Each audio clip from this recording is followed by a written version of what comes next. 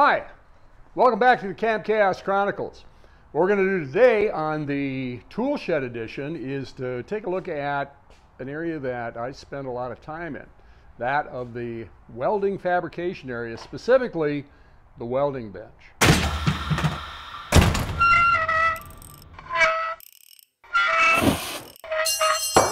Dang it. So why are we taking the time to talk about a bench? Well, the fact is that if you've got a small fabrication shop, uh, or you're a young guy starting out, or you're an amateur that uh, has limited space, probably working on your projects on the floor, wrestling around with uh, tools and clamps and material, trying to get the things done that you want to do. And that's how I spent about 15 years. Uh, in this room right here, I basically put a garage door in the end of it and wired a few outlets, and uh, and that's that was my life for a while. But then I figured out that you know what, that may be how Neanderthal man worked on his fabrication projects, but I think we can do better. So this was actually one of the first tools that I made to make the quality and the uh, experience of my projects a little bit better. What is this thing? Well, First of all, it's made out of steel. Now, if you're working on a wooden bench right now, you know how hot metal and wood works out. It can be made to work, but you know, it's, it's not the best. Plus the fact that wood tends to deflect as metal cools and, and uh, we can do better.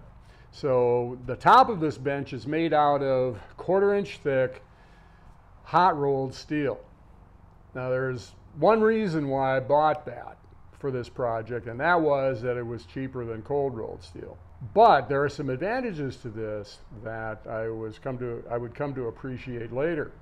And first of all, the scale on hot rolled steel tends to it seems to repel the spatter so that I've got a, a, a, broad chisel that I use to just sort of rake over the top of it, and the, generally the stuff pops right off some cases you got to do a little little grinding to get it free, but uh, usually it just scrapes right away.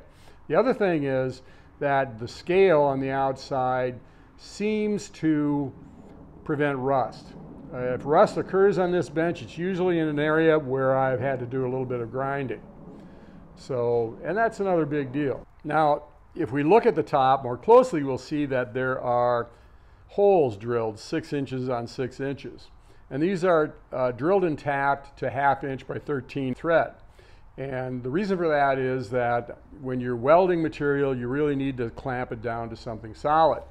And that's what I use that for. I've got pieces of square tube that are drilled, that have holes drilled in them with threaded rod that I use to, to lock things down with. Also, the hold downs that you would use on a milling machine uh, have a half inch by 13 thread on them. So so those are used, I use those quite a bit. In fact, the rotisserie was the first thing that, first large thing that I built on this bench, and uh, those things proved invaluable.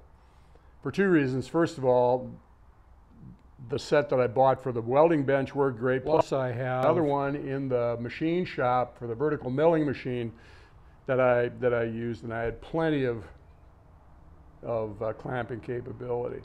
Now the rest of the bench is made out of material that I had on hand. I believe the, the square stock that are in the corners and on the side and also in the cross piece in the back is 11 gauge, two and a half, two and a quarter square steel, mild steel tubing.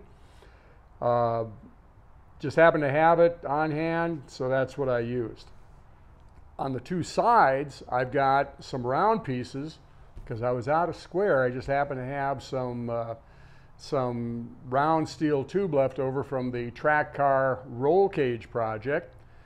So I use that, and it turns out that it was convenient to use those to to store C clamps and other clamps that were that worked in in that sort of situation, and that worked well for for quite some time.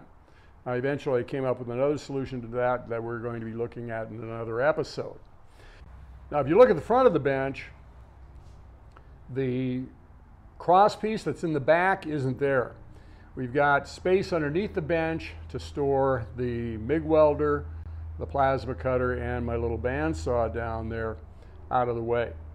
And I do that with all my benches, provide as much storage space underneath as possible. You'll also notice that hanging in the middle of the bench on the top is a spot welder. Uh, I'm not a real big fan of that location. I think what I would do or will do in the future is to move those hooks that it's hanging from over to the side so it's out of the way because it does interfere a little bit with the uh, moving of the tools in and out from underneath the bench. You're going to need a vise. Um, this is one that I actually got out of the trash at a business because it was cracked, which didn't really affect its utility at all. And what you see in the vise, that T-shaped thing, is something I made up out of some roll cage bends that were not used that I used for some simple metal forming operations that uh, I use that a lot more than I ever thought I would.